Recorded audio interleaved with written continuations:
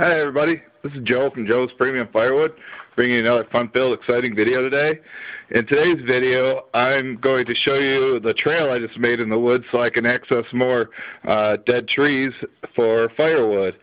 So hopefully it's not too shaky because I don't have a GoPro camera like Mike Malwicki, and I'm going to have to hold this in my bare hand in the cold because I'm going to have to drive with the other hand and use the throttle. So like I said, hopefully it's not too bumpy.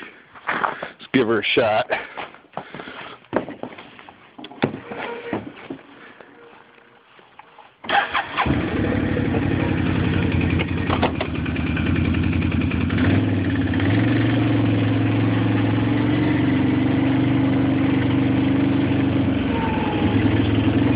Here's the access point right here.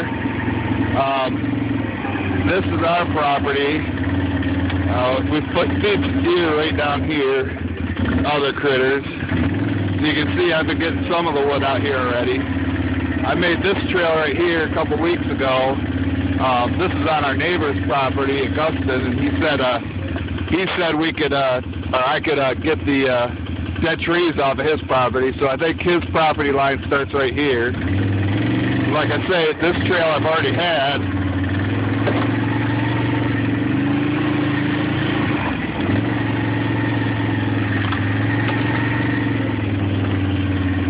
But right here today is when I, I came out with my Stihl MS260 and uh, those uh, cutters right there, and uh, I uh, cut down all the uh, silver maples. As you can see, there's a ton of them out here, and it, it, this whole trail was like this, you know, like that right there.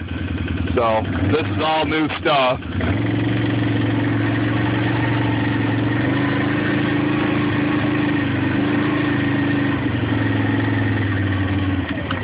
Think tomorrow I'll come out and get that uh, that dead oak. You can see all the barks fell off it. Good to go. I'll cut that up into pieces tomorrow.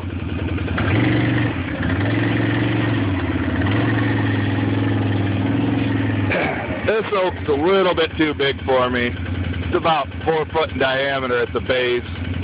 I know there's probably about two full cord of wood there, but I don't know. I might get those limbs that are sticking off the top of it, but other than that, I'm not going to mess with it.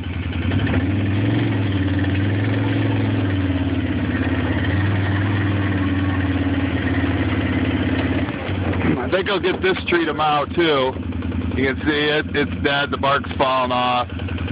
Um, but this one right here, that's going to be tricky because it's hung up on that silver maple, and the base of it's about ready to fall off. I don't know if you can see that, but I might need Ken's or uh, Chad's expertise on how to get that down. If I had to come along, I could probably pull it down pretty easy, but I think I'll wait on that one. That's going to be a little dangerous.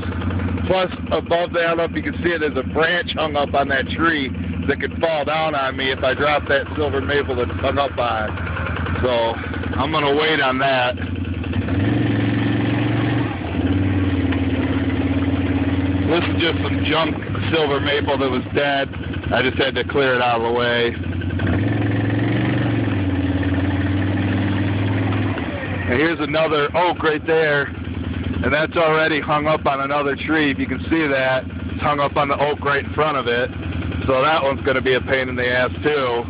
So I'm probably going to need some help getting that, but it's ready to go, and it's probably, you know, at, at least a quarter of a truckload, if not more.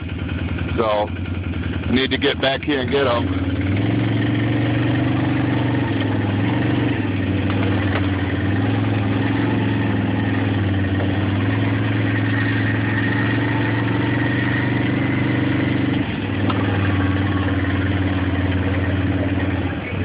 Here's another future project. That hickory, the top of it broke off and it's hung up on that white oak that's next to it. See, there's the top of the tree right there. But cutting that part down shouldn't be too hard, but I'm not sure how I'm going to get that right there because, like I say, it's real dangerous hung up on that white oak. So we'll see what we can do. But as you can see, the trail loops around right here.